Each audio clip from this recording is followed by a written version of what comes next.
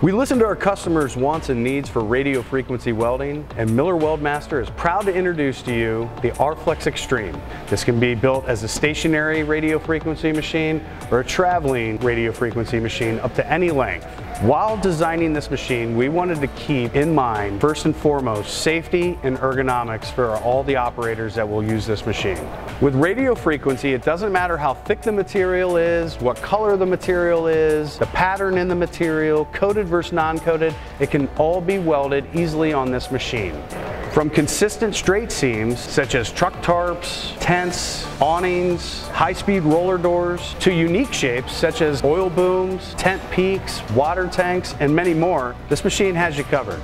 We're proud to say that these machines are serviced and supplied with parts coming out of Navarre, Ohio. We thank you for your time as always. We look forward to talking to you. And keep in mind, this machine starts out at around $1,300 a month.